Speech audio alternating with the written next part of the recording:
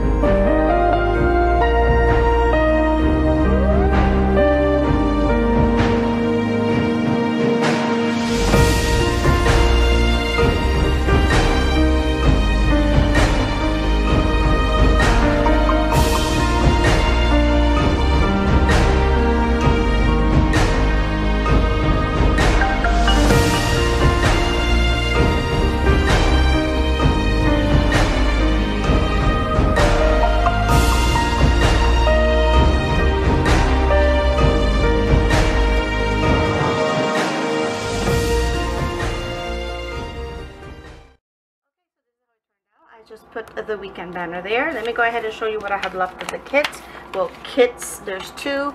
So I have this full box um, some functional there tons of functional items there. Um, just some washi strips a lot of functional items on this one as well. Um, just dates and some um, deco left and two bill dues and just a few little things here. So yeah this actually worked out. And I really like how it turned out except that I did have a lot of um, white space towards the bottom here but I did put some um, deco to cover that. I left this empty in case we do something Saturday um, night.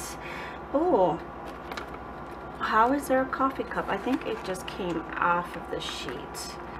Let me rescue it and put it back. Um so yeah i think it turned out great and this kit like i said i don't know if i mentioned it but it is from um Temp Loves Crafts and it was um her freebie last year for one of the um sales that she was having. So yeah i really do love how it turned out and i will see you in my next video. Bye bye